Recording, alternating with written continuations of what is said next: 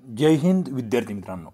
मित्रांनो आज आपण पोलीस भरती सराव प्रश्नपत्रिका संचामधील गणित आणि बुद्धिमत्तेचे काही संभाव्य प्रश्न बघणार आहोत. इथे बारा हजार प्लस प्लस प्रश्नांचा सराव आपण या ठिकाणी पोलीस भरतीचा करून घेतोय. स्पष्टीकरणासहित या ठिकाणी प्रश्न बघतोय. हे जे पुस्तक आहे संपादक राजकुमार महारनर्व सर जे आहेत यांनी या ठिकाणी हे पुस्तक काढलेलं आहे. आणि यशोदा पब्लिकेशन पुणे यांचं हे पुस्तक विविध जे अकॅडम्या आहेत त्यांची दर्जेदार अशी या ठिकाणी प्रश्नांची सिरीज आपण तुमच्यासमोर घेऊन आलेलो आहे. आधी खाकी नंतर बाकी अशा स्वरूपाचं हे ब्रीद या ठिकाणी आपलं आहे. आणि या ठिकाणी आपल्याला आज गणित बुद्धिमत्तेचे प्रश्न सोडवायचे आहेत.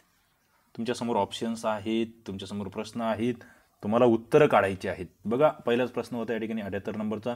तो म्हणजे चोवीस छेद बेचाळीसचा सममूल्य अपूर्णांक कोणता? सममूल्य अपूर्णांक. अपूर्णांकावरील हा प्रश्न आहे. तुमच्यासमोर ऑप्शन होते दोन छेद तीन तीन छेद आठ चार छेद सात सात छेद बारा. आता सममूल्य अपूर्णांक जेव्हा काढायचा असतो ना मित्रांनो तेव्हा काय करायचं? तेव्हा सरळ सरळ हे जे तुम्हाला या ठिकाणी जो काही अपूर्णांक दिलेला आहे याचं तुम्हाला एक लहानात लहान रूप काढावं लागेल असं माझं मत आहे. इथे खाली तुम्ही जर ऑप्शन बघितले तर कमी संख्या आहेत. म्हणजे चोवीसपेक्षा वरची संख्या कोणती? अंशी स्थानची कमी दिसते. बेचाळीसपेक्षा छेदस्थानची संख्या कमी दिसते. म्हणजे कशाने तरी याला भागावं लागणार आहे? काय? कशाने तरी याला भागावं लागणार आहे? समजा आपण या ठिकाणी जर बघितलं की चला चोवीस छेद बेचाळीस आहे. मग याला जर आपण समजा तीनने भागून बघितलं. बरोबर? चोवीस छेद बेचाळीस. म्हणजे तीन जर म्हणलं तीन आठ चोवीस. इथे तीन एक तीन तीन चौक बारा. आठ छेद चौदा येते कितीने भागल्यानंतर? तीनने भागल्यानंतर. आता आठ आणि चौदाला कशाने भाग जाऊ शकतो? दोनने जातो. बे चौक आठ बे साती चौदा. चार छेद सात. म्हणजे ते आठ छेद चौदासुद्धा याचं समूल्य अपूर्णांक आहे. मात्र आठ छेद चौदा या ठिकाणी आहे का? नाही. म्हणून आपण पुन्हा त्याला आणखी लहान केलं. चार छेद सात यस. चार छेद सात या ठिकाणी आहे. मित्रांनो अशा पद्धतीने सममूल्य अपूर्णांक काढायचं असेल तर त्याला एक भागून घ्यावं लागतं. किंवा जर मोठ्या पद्धतीच्या इकडे खाली ऑप्शनमध्ये संख्या असेल तर त्याला विशिष्ट एका संख्येने गुणावं लागेल.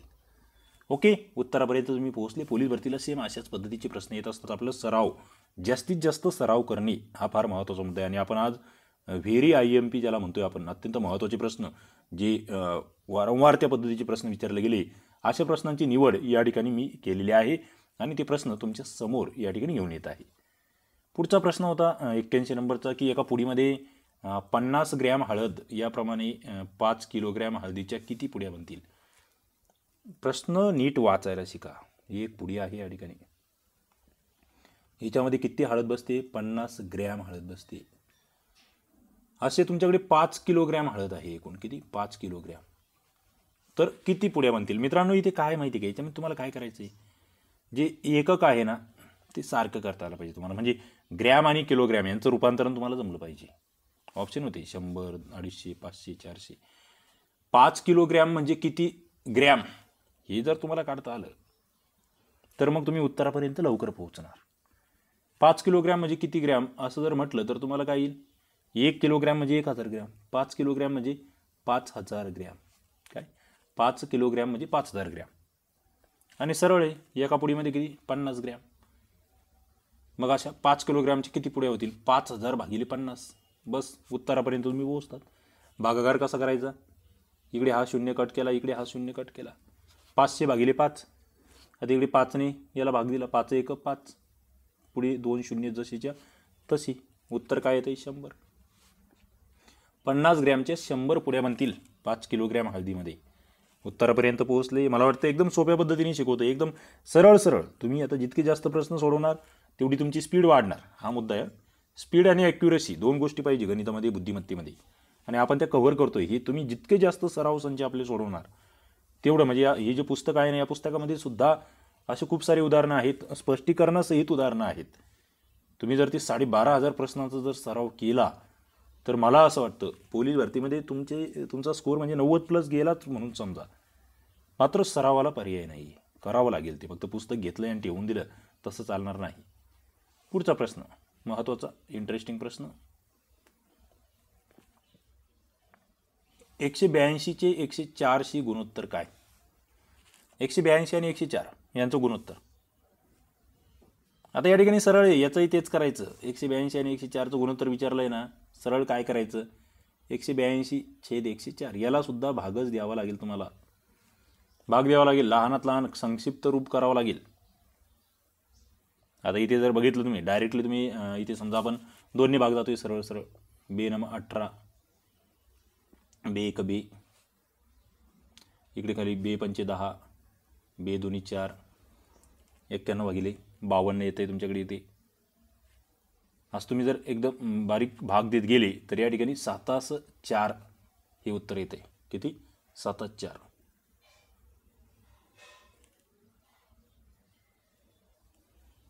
उत्तर तुमच्याकडे खाली ऑप्शनमध्ये आहे. सातात चार चार नंबरचं ऑप्शन आहे. सातात चार. तुम्ही म्हणाल की या ठिकाणी तुम्ही जे हे एक्क्याण्णव भागिले बावन्न केलं आहे यालाही भाग देता येतो ना? तेरी साती एक्क्याण्णव तेरा दोन्ही सव्वीस तेर त्रिक एकोणचाळीस तेरचोक बावन्न. बरोबर? तेराने भाग जातो आहे तुम्हाला पाडी पाठ पाहिजे. जास्तीत जास्त जेवढी जास्त पाडी तुमची पाठ असतील जेवढी क्लिअरली पाठ असतील तेवढं तुमचं उत्तर पटकन निघणार आहे. स्पीड वाढणार आहे. पुढे तीनशे पंच्याहत्तरचे बारा टक्के बघा शेकडेवारीवरचा प्रश्न आहे टक्केवारीवरील प्रश्न आहे. ऑप्शन होते पंचेचाळीस पस्तीस अठ्ठेचाळीस बावन्न. इथे चे म्हटलं की ते चेला काय करून घ्यायचं? गुणाकाराचं चिन्ह द्यायचं. शेकडा म्हटलं असं टक्के असेल की त्याला काय करायचं? शंभरने भागायचं बस. एवढं लक्षात ठेवलं की मला वाटतं असा प्रश्न तुमचा एकही चुकणार नाही. मग कसं? तीनशे पंच्याहत्तरचे बारा टक्के. मग इथे तीनशे पंच्याहत्तर. चे म्हणजे गुणाकारात चिन्ह बारा टक्के म्हणजे भागाकारात शंभर. या ठिकाणी तुम्हाला सरळ सरळ तुम्ही पंचवीसने भाग देऊ शकतात. बरोबर? पंचवीस चोक शंभर. इकडे तुमच्याकडे पंचवीसने भाग जातोय. आधी आपण पाचने देऊन घेऊ शकतो. समजा तुम्हाला पंचवीसचा वाडा डायरेक्टली या ठिकाणी आपल्याला अडीचशे होता येत. नंतर ते पुन्हा त्या ठिकाणी जाते प पाचने भाग बी देऊन घेऊ शकतो. पाचचं नऊ एक पाच सात पस्तीस इकडे दोन आले. पाचा पाचा पंचवीस पंच्याहत्तर. इकडे पाचने भाग दिला आपण समजा. खाली पुणे पाचने भाग द्या. पाच एक पाच पाचा पाचा पंचवीस. पंधरा भागिले चार.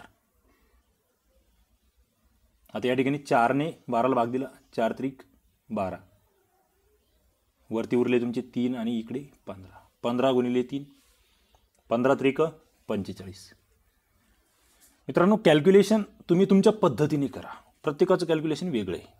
इथे तुम्ही त्याला कशा पद्धतीने भाग द्यायचा ते तुम्हाला ठरवायचं आहे तुमचं याच्या आधीचं बेसिक किती पक्कं आहे आपण त्याच्यावर बेरीज वजाबाकी गुणाकार भागाकार सगळे क्रमिक पुस्तकांचे लेक्चर आपल्या यूट्यूब चॅनलला ऑलरेडी उपलब्ध आहेत. आपला गणित बुद्धिमत्तेचा सेपरेट कोर्ससुद्धा उपलब्ध आहेत हां. आपलं G S T I R C P application आहे त्यावर आपण ते कोर्समध्ये सगळे लेक्चर अपलोड केलेले आहे ऑलरेडी अत्यंत माफक शुल्कात ते आहे. त्या ठिकाणी जाऊनसुद्धा तुम्ही ती ते सगळे लेक्चर बघू शकतात गणित बुद्धिमत्तेचे आणि या ठिकाणी आउट ऑफ मार्क्स म्हणजे तुम्हाला मी सांगतो इथे गणित बुद्धिमत्ता पन्नास गुण पोलीस तुम्ही होणार की नाही होणार हे इथे ठरणार. कारण इथे हमीचे मार्क्स आहेत. जे पडणार ते फिक्स जे नाही त्याच्यात वेळ घालवायचा नाही. आणि या पुस्तकात सुद्धा ते खूप चांगल्या पद्धतीने कव्हर केलं आहे. त्याच्यामुळे तुम्ही हे पुस्तक नक्कीच रेफर करू शकतात आणि आपला स्कोर वाढवू शकतात. पुढे. पुढचा प्रश्न या ठिकाणी काय आहे बघा. पहिली संख्या दुसरीच्या दुप्पट आहे. काय? पहिली संख्या दुसरीच्या दुप्पट आहे व तिसरीच्या तिप्पट आहे. आणि तिन्हींची सरासरी जी आहे ती चौवेचाळीस आहे. तर पहिली संख्या काढा. अशा ठिकाणी तुम्हाला ती मांडणी करता आली पाहिजे. इथे ऑप्शन होते मग बहात्तर एकोण एकोणसत्तर सत्तर आणि बासष्ट. आधी प्रश्न नीट वाचा. तुम्हाला त्या तीन संख्या आहे समजा तुम्हाला त्या ठरवून घ्याव्या लागतील की बाबा या तीन संख्या अशा आहेत. म्हणजे त्या ठिकाणी एक ए आहे एक बी आहे एक सी आहे. बरोबर? आता इथे जर तुम्ही म्हटलं तर मग पहिली संख्या दुसरीच्या दुप्पट आहे. पहिली समजा तुम्ही इथे ए म्हटले. ए बरोबर दोन बी दुसरीच्या दुप्पट आणि तिसरीच्या तिप्पट तीन सी. आणि तिघांची सरासरी चौवेचाळीस. आता इथे पहिली दुसरीच्या दुप्पट आहे म्हणून आपण इथे बी बरोबर ए छेद दोन असं करू शकतो. तुम्ही म्हटलंय की पहिली संख्या ही तिसरीच्या तिप्पट आहे म्हणून तुम्ही इथे सी बरोबर ए छेद तीन करू शकता. कारण एच्या एक चतुर्थांश असणार ना ती. इकडे एक द्वितीयांश असणार. सरळ सरळ आहे. आणि तिन्हींची सरासरी काय आहे? चौवेचाळीस आहे. मित्रांनो याला कशा पद्धतीने मांडता येईल आपला ए अधिक ए छेद दोन अधिक ए छेद तीन. भागिले तीन. बरोबर चौवेचाळीस. सरासरी ना तीन संख्यांची सरासरी चौवेचाळीस आहे. भागाकारीत किती येणार? तीन येणार. बरोबर? आता तुम्हाला या ठिकाणी पुढे घेऊन जावं लागेल त्याला की कशा पद्धतीने हे गणित होतं आहे चौवेचाळीस. तीन संख्यांची सरासरी चौवेचाळीस आहे. आता तुम्ही हे सगळं जर कॅल्क्युलेशन काढलं हे कॅल्क्युलेशन काढलं तर तुमच्यासमोर येतं एकशे एकोणवीस भागिले अठरा बरोबर चौवेचाळीस. आणि या ठिकाणी उत्तर तुमचं येतं मग ते बहात्तर. मात्र ही किचकट पद्धत आहे असं मला वाटतं. मी तुम्हाला माझ्या पद्धतीने घेऊन जातो. डायरेक्टली ऑप्शनवरून जायचं. समजा पहिलं ऑप्शन निवडलं आपण बहात्तर. आपण म्हणतोय आपल्याला काढायची पहिली संख्या. आपण म्हटलं की पहिली संख्या काय आहे? बहात्तर धरली आपण. पहिली संख्या दुसरीच्या दुप्पट आहे. मग बहात्तर भागिले दोन तुम्ही केले या ठिकाणी. पस्तीस दुनी सत् छत्तीस म्हणजे या ठिकाणी तुमची पहिली संख्या काय आली? छत्तीस आलेली आहे. आणि तिसरीच्या ती तिप्पट आहे. पहिली संख्या तिसरीच्या तिप्पट आहे म्हटलेलं आहे. म्हणजे तुम्ही त्या ठिकाणी बहात्तर भागिले तीन जर केले तीन दोन्ही सहा तीन चौक बारा चोवीस. म्हणजे तुमचं बहात्तर छत्तीस आणि चोवीस अशा पद्धतीच्या तीन संख्या येतात. आणि या तिघांची सरासरी चौवेचाळीस आली तर समजायचं आपलं जो निवडलेला ऑप्शन आहे तो बरोबर आहे. तुम्हाला आधी तिघांची बेरीज त्या ठिकाणी करावं लागेल. बहात्तर छत्तीस आणि चोवीसची. ओके? बघा तुमच्यासमोर आहे बहात्तर तुमच्यासमोर आहे छत्तीस तुमच्यासमोर आहे चोवीस. सहा दोन आठ आठ आणि चार बारा. हातच्याला एक आला. सात आणि तीन दहा. दहा दोन बारा. बारा आणि एक तेरा. एकशे बत्तीस. एकशे बत्तीस भागिले तीन जर तुम्ही केले तर तीन चोक बारा आणि तीन चोक बारा. चौवेचाळीस. म्हणजे ऑप्शनवरून जाताना सुद्धा तुम्हाला या ठिकाणी बरोबर ती सरासरी येते का हे बघावं लागेल. आता इथे लकीली पहिला ऑप्शन होता तो जर नसता आला दुसरा अशा पद्धतीने सुद्धा तुम्हाला जाता येईल हे लक्षात घ्या. पुढे जातोय मी शहाऐंशी नंबरचा प्रश्न या ठिकाणी होता की तासी पंचेचाळीस किमी वेगाने जाणारी चारशे मीटर लांबी जी आघाडी आहे याला चारशे मीटर लांबीचा पूल ओलांडण्यासाठी किती वेळ लागेल? इंटरेस्टिंग प्रश्न आहे. याला कशा पद्धतीने सोडवायचं ते मी सांगतो. चौसष्ट सेकंद चौतीस सेकंद सत्तर सेकंद आणि पंच्याहत्तर सेकंद. असे ऑप्शन होते. या ठिकाणी काय करायचं बघा तुम्हाला पूल ओलांडण्यासाठी किती वेळ लागेल? रेल्वे आणि पूल याच्यावरती हे प्रश्न आहेत. आता या ठिकाणी वेळ विचारलेला आहे तुम्हाला. काय विचारलं आहे वेळ. कशा पद्धतीने उत्तर सोडवायचं? डायरेक्टली उत्तरावर येतो आहे इथे चारशे मीटर लांबीची आगगाडी आहे आणि चारशे मीटर लांबीचा पूल आहे. काय? चारशे मीटर लांबीची आगगाडी चारशे मीटर लांबीचा पूल या ठिकाणी आहे. तुम्हाला या ठिकाणी ती मांडून घ्यावं लागेल. चारशे मीटर लांबीचा पूल अधिक चारशे मीटर लांबीची आगगाडी ओके? भागिले तुम्हाला काय करायचं आहे इथे? तासी वेग किती आहे? पंचेचाळीस. मग पंचेचाळीस तासी पर किमी आहे? मग तुम्हाला याला पर सेकंदमध्ये करायचं आहे मग पाचशेद अठरा. काय? पाचशेद अठरा. या ठिकाणी हे सगळं कॅल्क्युलेशन तुम्ही जर केलं तर तुमच्यासमोर काय येतं? आठशे गुणिले दोन भागिले पंचवीस. हे कारण या दोघांची बेरीज आठशे येणार आहे. आणि इकडे खालचं कॅल्क्युलेशन केलं तर गुणले दोन भागिले पंचवीस या ठिकाणी तुमच्यासमोर येणार आहे. म्हणजे आठशे गुणिले दोन भागिले पंचवीस. आणि याचं जर तुम्ही कॅल्क्युलेशन केलं हे समजा पाचा पाचा पंचवीस आहे पाच एक पाच आहे पाच सक तीस आहे एकशे साठ झाले पुन्हा पाच त्रिक पंधरा पाच दुनी दहा ते बत्तीस बत्तीस गुणिले दोन बरोबर या ठिकाणी चौसष्ट सेकंद. अशा पद्धतीचं या ठिकाणी तुमचं उत्तर येते चौसष्ट सेकंद. कॅल्क्युलेशन काय करायचं ते लक्षात घ्या. तुम्हाला या ठिकाणी ही जी आघाडी आहे आणि पूल आहे या दोघांची बेरीज करा. त्याला इथे हा जो वेग आहे त्याने भागून घ्या. मात्र त्याला पाच छेद अठराने काय करा. पर सेकंदामध्ये तुम्हाला करता येईल. बस कॅल्क्युलेशन केलं तुम्ही उत्तरापर्यंत पोहोचलेले आहात. पुढचा प्रश्न या ठिकाणी आहे सत्याऐंशी नंबरचा प्रश्न. एक मंगल कार्यालय त्याची लांबी साठ फूट रुंदी चौरे पंचेचाळीस फूट. तर तीन फूट लांबी व रुंदी असलेल्या किती फरशा त्याच्यामध्ये बसवाव्या लागतील. आता या ठिकाणी मंगल कार्यालयाच्या आधी क्षेत्रफळ तुम्हाला काढता आली पाहिजे. आता इथे ऑप्शन होते. वेगवेगळे ऑप्शन आहेत. मात्र इथे तुम्हाला आधी मंगल कार्यालयाचं क्षेत्रफळ काढून घ्यायचं आहे. नंतर त्याच्यामध्ये ते फरशा बसवायचे. मंगल कार्यालयाचं क्षेत्रफळ किती येतं? कसं काढता येईल तुम्हाला? लांबी गुणिले रुंदी. क्षेत्रफळ म्हणजे काय? त्याचं सूत्र काय आहे? लांबी गुणिले रुंदी. साठ फूट गुणिले पंचेचाळीस फूट. किती येतं एक क्षेत्रफळ? सत्तावीसशे चौरस फूट. आता फरशीचं क्षेत्रफळ किती आहे? तीन फूट लांबी आणि तीन फूट रुंदी हा या ठिकाणी तीन घ्यायचं आहे. तीन फूट लांबी आणि तीन फूट रुंदी. फरशीचं क्षेत्रफळ तीन गुणिले तीन. नऊ येत आहे किती? नऊ येत आहे सरळ सत्तावीसशे स्क्वेअर फुटामध्ये नऊ स्क्वेअर फुटाची एक फरशी बसवायची आहे. ओके? अशा किती फरशा लागतील? सत्तावीसशे भागिले नऊ. बस संपला विषय. नऊ त्रिक सत्तावीस आणि पुढचे दोन शून्य. तीनशे फरशा थोडक्यात मित्रांनो अशा स्वरूपाचा प्रश्न आला. काय करायचं? आधी जी जागा दिली आहे जिथे ती तुम्हाला बसवायची आहेत फरशा त्याचं क्षेत्रफळ काढा. नंतर त्या फरशीचं क्षेत्रफळ काढा आणि भागाकार करून टाका. बस. मला वाटतं तुम्ही उत्तरापर्यंत पोहोचलेले असतात. अशा पद्धतीने मित्रांनो गणिताचे काही महत्त्वाचे प्रश्न आपण डिस्कस केलेले आहेत.